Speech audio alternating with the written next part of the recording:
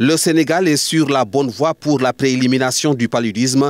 Le taux passe de 0,75% en 2013 à 1,73% en 2017, soit une réduction de 77%.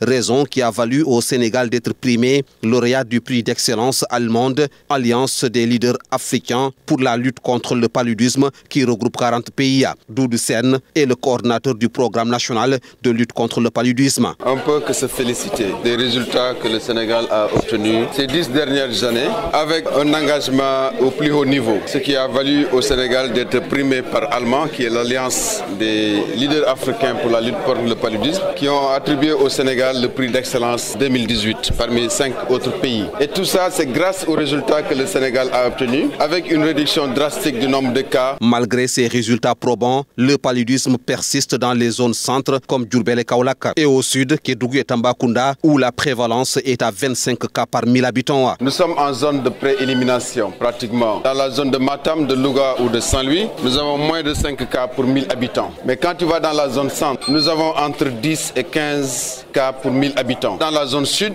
nous avons une prévalence avec plus de 25 cas au moins par 1000 habitants. Cette forte prévalence dans ces zones est liée à l'écosystème où nous avons énormément de moustiques qui peuvent transmettre le paludisme, notamment les anophèles. Et malheureusement, étant en période de chaleur, les gens ont tendance à rester dehors sans pour autant se couvrir de moustiquaires imprégnés. La célébration de la journée du paludisme est décalée jusqu'au 28 avril sous l'égide du président Macky Sall avec comme thème prêt à vaincre le paludisme.